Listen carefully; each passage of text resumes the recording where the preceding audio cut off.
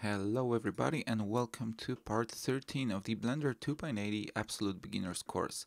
In this video I will show you how to join meshes in difference to the previous video where we separated them. So as you can see I just quickly duplicated a cube and by selecting two or multiple objects we can join them to the active one, meaning this one from the selection we have right now. To do this, we just go to the object menu here and press the join button here.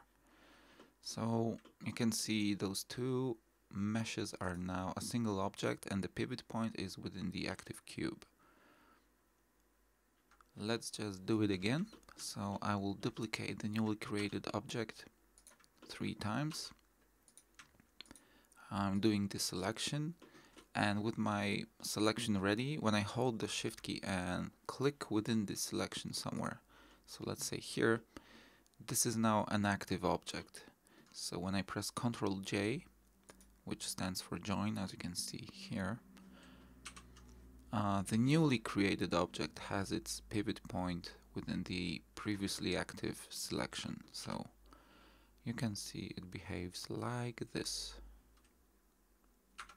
in Blender we can also do joining within the edit mode, but it works differently. So when I access the edit mode and duplicate my cube, uh, let's delete those faces. And by the way when I hit X in the edit mode you can see the list for deleting is a bit much bigger than in the object mode. So here when I just press X I can delete the selection and that's it in the edit mode, it's a bit more complicated and I'm gonna describe it in detail in the next video. But for now, let's just delete the faces. So you can see we have those boxes open right now.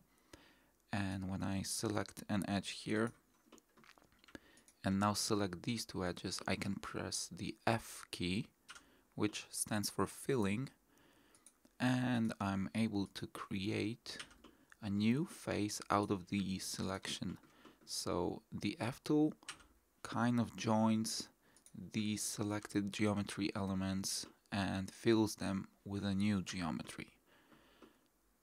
Um, this also works for the vertices. So if I, let's say, uh, duplicate these two as an edge and click those two and press F, you can see I'm able to build a new edges out of the selection.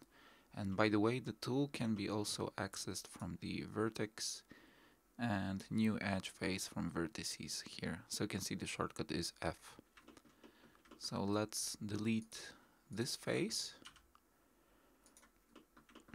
and and by clicking the vertices only let's start creating new geometry so let's say I'm gonna duplicate this vertex here select this one and press F.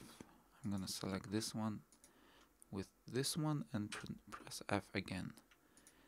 If I select all four of them and press F I'm gonna have a new face. So you can see we can build geometry in different ways. I can extrude this vertex so it already gives me an edge or I can duplicate it.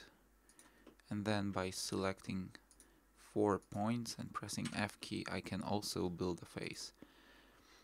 As mentioned probably before there are multiple ways of doing stuff in Blender so the faces can be built either hand by uh, by hand picking the points like I'm doing right now or by extruding or by many many other different ways so this newly created uh, box or this newly created uh, piece of geometry could be also simply extruded like this by pressing the E key and then by moving the corner points around.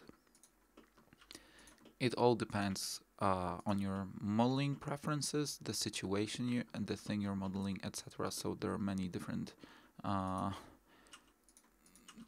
many different things that define the way you're modeling something at this uh, at current moment. So yeah I would encourage you to play around with this uh, newly newly presented tool. Um, so just duplicate the geometry pieces by yourself. Try joining them.